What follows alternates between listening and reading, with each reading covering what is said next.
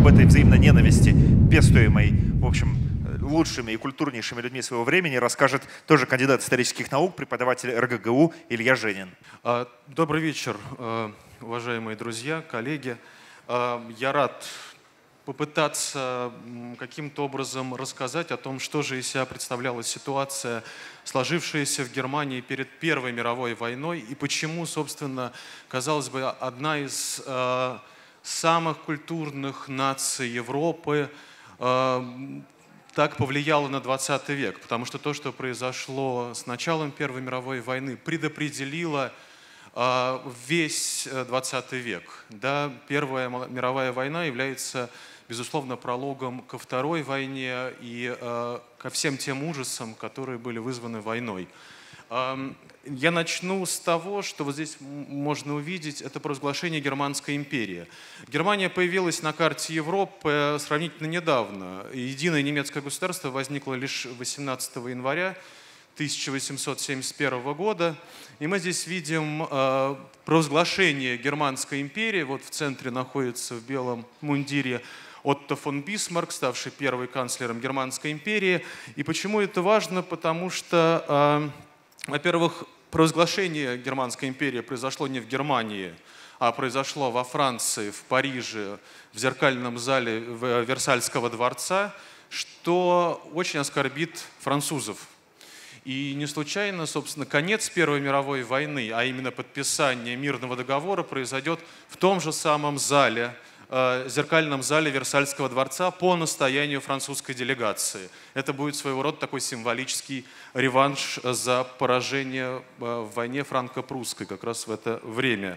Что здесь нужно отметить? Э, что почти сразу, как только была провозглашена Германская империя, немецкие интеллектуалы, профессора, деятели науки и культуры сразу же восприняли эту победу и провозглашение единого германского государства э, как э, особое предназначение Германии. То есть с этого момента зарождается так называемая мифологема, такой вот политический миф об особом немецком пути в истории, который не сводится ни к английской, ни к французской традициям.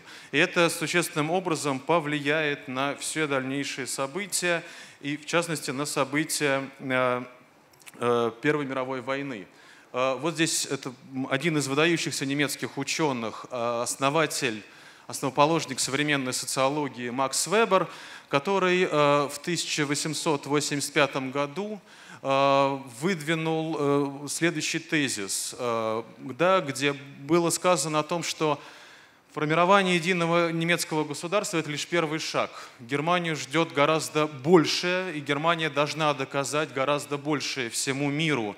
Да, это не финал, а лишь начало германской мировой политики. Политики, направленной на экспансионизм, то есть на захват, на реализацию вот, э, особого немецкого э, пути.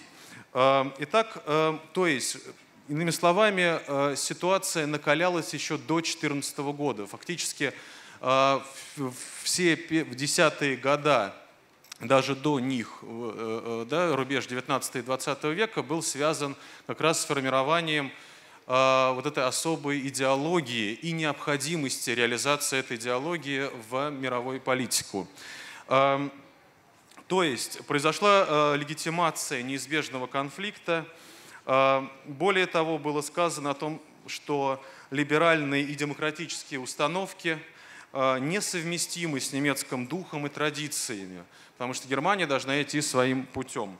А, итак, э, война, э, Первая мировая война, начавшаяся в августе 1914 года, привела к тому, что вот здесь просто цитата, одна из знаменитых цитат кайзера последнего кайзера Германии Вильгельма II, о том, что он не знает больше никаких партий, он теперь знает только немцев. А, иными словами, происходит э, снятие вот этих партийных разногласий э, и классовой вражды внутри Германии.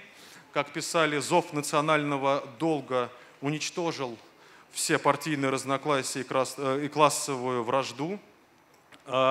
Происходит смерть политики – и триумф неполитических целей.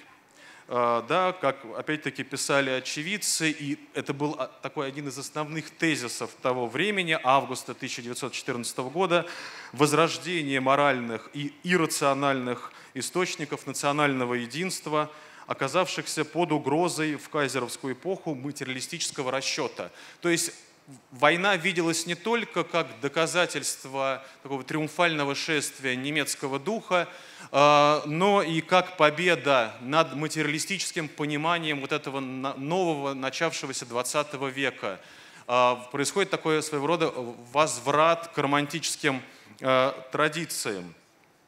И э, вот здесь вот можно увидеть это знаменитое полотно Фридриха Августа фон э, Каульбаха, э, которое расположено в немецком историческом музее. Полотно так и называется «Германия в 1914 году», в августе 1914 года. Вот такое символическое э, да, представление о Германии. Суровый взгляд Валькирии, такой с безумными горящими глазами – с поднятым мечом. А, вот это явное такое вот символическое выражение того, э, чем жило общество.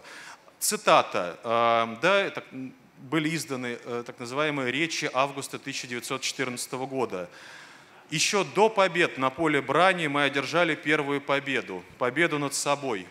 Мы увидели возможность лучшей жизни. Каждый из нас живет во имя целого, а целое живет в каждом из нас. А, наши «я» с его личными интересами растворились в великом историческом бытии нации. Родина зовет, партии исчезают. А, то есть происходит вот это единение. Да? В лишним свидетельством этого является то, что происходило в Рейхстаге а, накануне 2014 года, в августе 2014 года. Это принятие военного бюджета, где были расписаны уже расходы на войну, и за этот военный бюджет голосует партия социал-демократов, одна из э, ведущих партий Германии, которая отказывается от своих интерналистических позиций, заложенных еще вторым интернационалом, и говорит о том, о победе национального духа, о том, что мы должны объединиться, у нас больше нет классовых э, пониманий борьбы, у нас есть национальное понимание борьбы. И во имя этого мы будем вести борьбу. А, то есть происходит сотрудничество и партий, и интеллектуалов, и деятелей науки с властью, которое получает тотальный характер. А, доказательством этого является еще так называемый манифест 93. Это такая длинная цитата, это конец этого манифеста. Почему он, он был издан в октябре 1914 года? Манифест 93, потому что его подписал 93 ведущих э, интеллектуала Германии. Да, это были деятели науки и э, деятели культуры. Можем вспомнить здесь Рихарда, э, э Герхарда Гаупмана, э, Макса Либермана, художника, Макса Планка, выдающегося физика, Нобелевского лауреата, Вильгельма Рентгена, тоже Нобелевского лауреата, Э, и э, многих других э, деятелей науки и культуры. Здесь важно отметить, да, что война объединяет, а не разъединяет немцев. И эм, интересно, что они говорят и ставят на один ряд, в один ряд немецкий милитаризм и немецкую культуру. То есть эм, немецкий милитаризм всегда защищал немецкую культуру, да, и здесь один ряд идет. Э, э, милитаризм, Гёте, Бетховен и Кант. Это одно целое. Да, и здесь э, мы не, не должны это различать. А, еще одной такой вот знаменитая цитата, это выдающийся немецкий психолог, вообще считается основоположник современной научной психологии, Вильгельм Вунд пишет в 1915 году работу, которая называется «Нация и их философии», а, где он заявляет о том, что э, английские эстетические теории носят поверхностный характер, они очень просты. А, характеристики, которые давал Вунд э, англосаксонскому уму, пестрили такими эпитетами, как эгоистический, утилитарный, материалистический, позитивистский и прагматический. Вот это э, да, такая характеристика а, английской философии, которая отлич, отлична от немецкой, потому что для немецкой философии, для немецкого сознания первично является дух, вот этот вот немецкий дух, о котором еще много писал Гегель. А, да, ну и, соответственно, у французов тоже были э, не такие лицеприятные эпитеты, это материализм и позитивизм. А, э, кроме того, э, Первая мировая война виделась как доказательство упадка и разложения европейской, западной, точнее даже романской культуры и противопоставлялась молодой, недавно объединившейся Германии и, собственно, немецкой культуре, немецкому духу. Э, да, вот тоже ключевыми здесь моментами являются, что э, для немецких интеллектуалов было характерно, характерна критика э, Франции и Англии с той точки зрения, что они видели, что в Англии и во Франции победили экономические группы. То есть экономика подчинила себе политическую систему и является проводником общественного мнения. А, более того, они писали о том, что ни, ни, ни английское, ни французское общество а, на самом деле не благоприятствует разнообразию за счет как раз вот этой вот демократической традиции, которая там существует. Потому что демократическая традиция приводит к такому унылой посредственности, где все упирается в среднестатистическое, а не в индивидуальное а, и, соответственно, особенное. Э, вот э, в этой связи интересен памфлет такой другого выдающегося немецкого ученого Вернера Зомбарта, это культуролог, э, социолог, философ, который публикует работу, которая так и называется «Война торгашей и героев». Ну, понятное дело, что под торгашами здесь имеются в виду англичане и французы, а под героями, соответственно, немцы – Э, да, и приводится определение, что такое торгашеское мышление, что вот оно как раз правит интеллектуальной и духовной жизнью на унылой равнине общества посредственностей. В то время как герой и перечисляются э, все эти эпитеты, да, он не задумывается об экономике, личные интересы подчиняет общему э, делу. И Э, в итоге можем говорить о том, что война уже к 2015 году принимает такой ожесточенный характер, который сохранится. Это будет э, война между культурой и цивилизацией, где под культурой будет пониматься искусство образования, прежде всего немецкой культурой, а цивилизация – это будет французская цивилизация, собственно, само слово французское этимологически его придумал Мирабо, знаменитый деятель французской революции – это хорошие манеры, светская утонченность, но они ни к чему не ведут. Это прошлое. Будущее будет за германской культурой, которая э, молодая, энергичная и требует своего развития. И в этом смысле война была продолжением этого тезиса. Спасибо большое. Спасибо. У меня один вопрос только.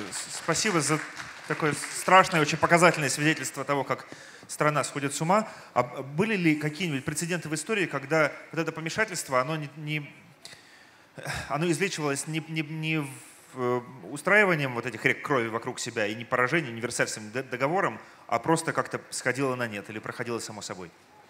Но ну, Вторая мировая война покажет, что такой четкой э, консолидации не произойдет. То есть э, часть интеллектуалов как раз будет отрекаться от того, что происходит в стране, и не будет поддерживать. В этом смысле, э, мне кажется, это как раз э, свидетельствует о том, что иногда разум возоблада берет верх над мифом. И мы чем-то лучше стали с, с этих пор. Да. да. Приятно слышать. Спасибо. Спасибо большое. Илья Женин, кандидат исторических наук, преподаватель РГГУ.